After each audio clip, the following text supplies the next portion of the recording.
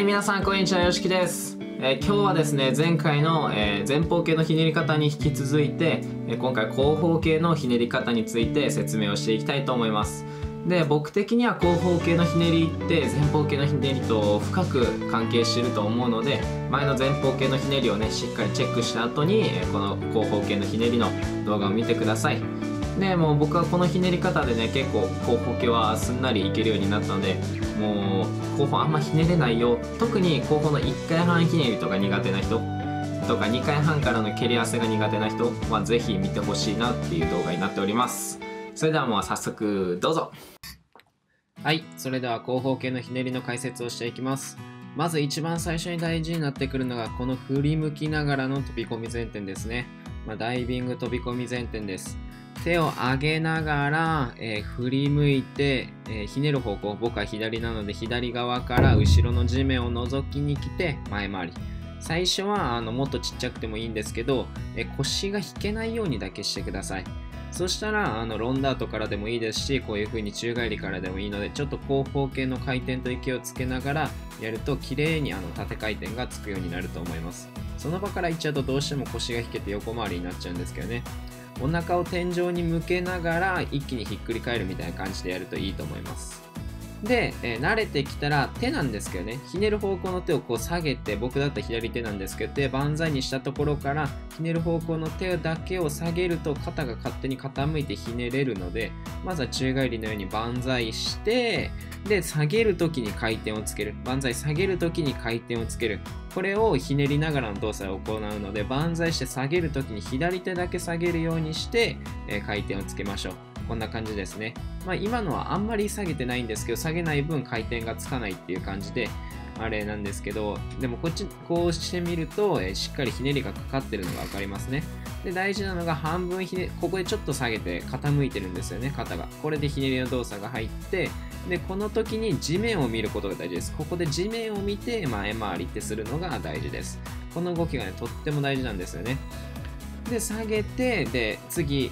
肩を下げた後に手をもう一度下げることで回転がつくんですよね。ここです。ちょっと分かりにくいですかね。一瞬手をねなんか漕いでるみたいな感じなんですけど左手下げて後ろ振り向きに行ったら手をちょっとだけ下げて横にして回転をつけるという感じになってます。でもこの時にも大事なのが下を見ることですねここで下を見ることがとっても大事になります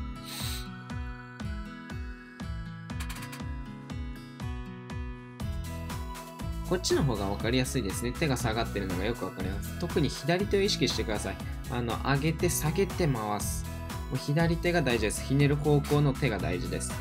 で、この時に回転をつけて地面を見て回してあげるという感じで。で、ダメなのが腰が引けちゃうのがダメなんですよね。なんか腰を入れたままお腹をビョンって前に出すようにしてひねりましょう。で、後方の1回ひねりになります。さっきの地面を見て見た後に前中ハーフをするような感じです。後方のひねりは半分からの前中ハーフです。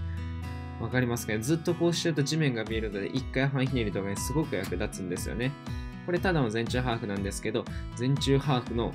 ここからのひねり方と後方のダイビングから半分回った後のひねり方って同じなんですよね。だから後方は前方と一緒っていう感じなんですよね。で、1回半なんですけど、前中ハーフで立つときに半分っていう前方の1回ひねりと同じようなひねり方ですね。で、万歳して左手を下げて体の近くに手を添えて前方の1回ひねりっていう感じですね。このひねり方できてれば、あの1回半とか2回半から合わせもとっても上手になると思います。でもこれも一緒ですね。最初一瞬だけ手を下げて半分ひねって地面を見たら、あとは前方の1回ひねりっていう感じです。で、一つ違う点としては、左手下げた後に伸ば肘を伸ばすんじゃなくて、もう体のそばに肘を巻き込むようにして、えー持ってきているところですね。ひねりの回数が増えるとそういう風になってきます。でもう2回半ひねりですね。2回半ひねりもダイビング前中から前方の2回ひねりと同じような感じですね。意識としてはもう左肩を下げて右肩を上げて最初ひねりのきっかけ作ったらあとは前方の2回ひねりと同じです。もう手の出し方とかね、もう前方の2回ひねりとそっくりなんですよ。前方の2回ひねり見てみましょう。もう全く同じじゃないですか。それでは比べてみましょう。後方の2回ひねりと前方の2回半ひねりと前方の2回ひねり。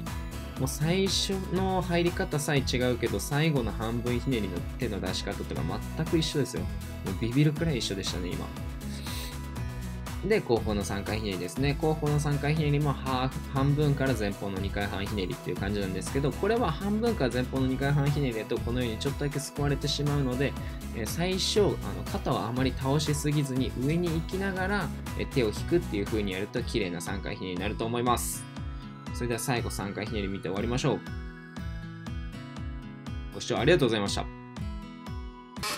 はい以上で今回の動画は終わりとなります。どうだったでしょうか？ダイビング前中から前方のひねりをかけるっていう発想なかった人にとっては目から鱗だと思います。でやっぱりそれをすることによって、まあ、地面も確認できますしあの前方系のひねりのテクニックによるので、えー、だいぶこうひねりがねあの後ろと前リンクしやすいかなと思います。で後方の3回ひねりくらいまでだとこれで十分、えー、通用するので、えー、ぜひ参考にしてみてください。それ以上ひねりが増えてくるとねまたちょっと違うやり方とか、えー、技術にもなってくるのでまたご要望があればそちらもあの動画にしていこうかなと思います。僕の体がね動く限りあの、まあ、できるだけ動けるようになり、えー、しておきたいですけど動く限りできるだけこういう技術のね伝達っていうところとかをやっていきたいなと思いますので、まあ、ぜひよかったなと思ったら、まあ、共有だったりとかグッドボタンお願いします。それではまた会いましょう。バイバーイ。